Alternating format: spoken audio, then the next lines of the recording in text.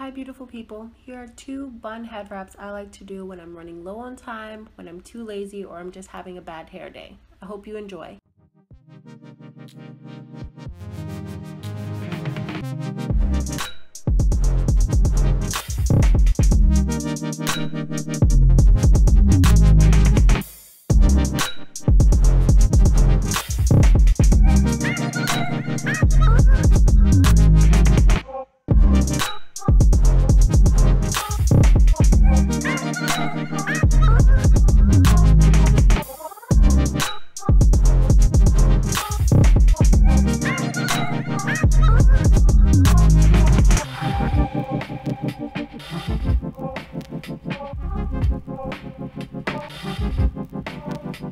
Thank you.